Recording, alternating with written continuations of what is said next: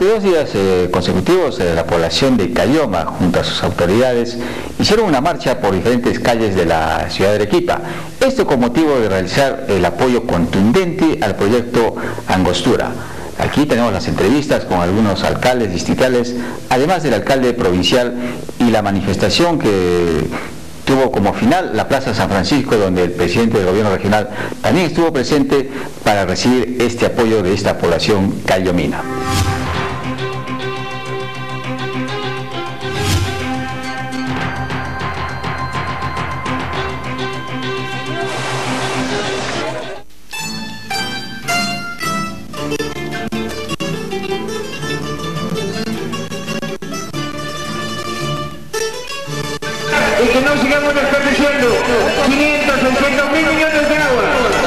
Agua, que no para nadie.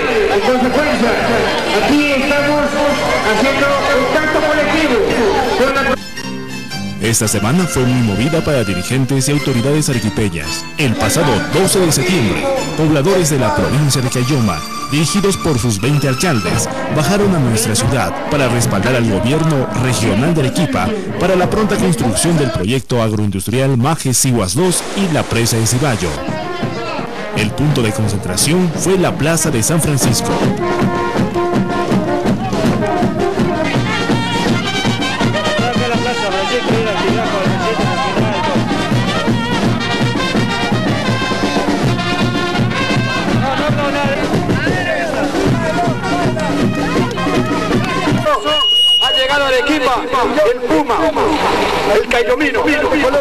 Está vivo, que ha salido a las calles a luchar. Porque creemos, señor presidente, que el proyecto Angostura debe hacerse realidad. Hemos demostrado técnicamente que los terrenos, que el agua está en territorio arequipeño. Eh, yo le pediría al gobierno central, al doctor o al comandante Ollanta Humala, que de una vez por todas ponga pues las cosas en, en orden. Si él, en él está, ¿no? Si él decide hacer la, la, represa de Angostura, de una vez que se haga y que no le tiemble, pues que porque salen en huelga, pues dicen, no, es birregional. No tiene que ser así. Considero que eh, es, esta, este trabajo es de Arequipa y tiene que ser para Arequipa, y ni siquiera para Arequipa, sino para todo el país, porque esto va a mejorar a todo el país, no solamente a los arequipeños. Y que no sigamos desperdiciando 500, 600 mil millones de El presidente regional agradeció a la población y autoridades locales por la unidad y defensa del proyecto esperado por largos años, solicitando a la Autoridad Nacional del Agua disponga la participación de la UNOPS para que proceda a iniciar el estudio de balance hídrico integral, dado que desde la suscripción del acta del órgano tripartito hasta la fecha no se tiene comunicación sobre el inicio. Puma Cayomino hoy ya nos ha tocado las puertas y nos ha hecho reparar en que efectivamente hay que unir a toda la población y a toda la región arequipa detrás de estos proyectos. No solamente completar más uno, hay que completar y hacer a y no se dos, hay que En tal sentido, el gobierno regional de Arequipa reitera se cumpla la sentencia del Tribunal Constitucional contemplada en el expediente número 01939-2011 y se evite generar malestar o condiciones de conflictividad en la región Arequipa. Estas escenas que se muestran solo es el comienzo de lo que vendría para el día 13 de septiembre del presente, donde pobladores de Cayoma, junto a las organizaciones sociales de Arequipa, desatarían la furia del León del Sur.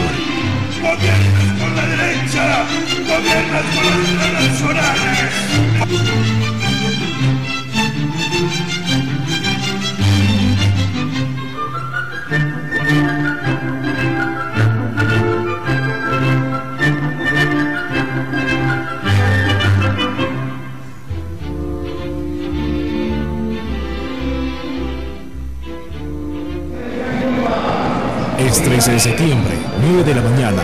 El sol irradia las caras de cada uno de los pobladores arequipeños. El calor es sofocante, junto con el temperamento, hacen un juego de discordia en contra del gobierno del presidente Ollantumala por no cumplir sus promesas de campaña como la ejecución del proyecto Majes Iguas 2 el gasoducto surandino y la carretera interoceánica. Aquí todos los asentamientos humanos, todos los pueblos jóvenes, todos los moradores de esa UPA contestataria. que usted tiene candidato y aún inclusive siendo presidente se reivindicó la realización del gasoducto surandino.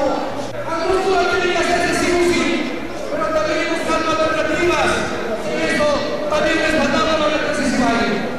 Por sus bondades que sabemos lo que va a dar, generación creciendo y miren el puerto de trabajo. La movilización fue convocada por la Coordinadora Política Social de Arequipa y en ella participaron aproximadamente 7.000 personas que abarrotaron la Plaza de Armas y provocaron el congestionamiento vehicular en el centro histórico de la Ciudad Blanca. A la masiva protesta se sumaron los docentes del Sindicato Unitario de Trabajadores en la Educación del Perú, quienes cumplen una huelga indefinida.